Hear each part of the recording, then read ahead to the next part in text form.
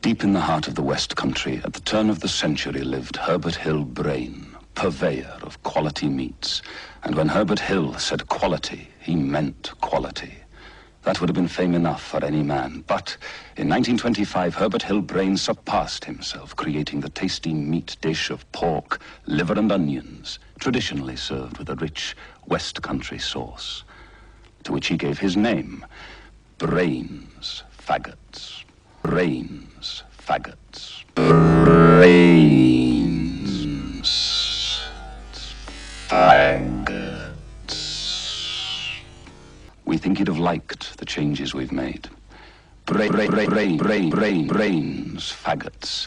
So tasty, you'll wish you'd tried them years ago.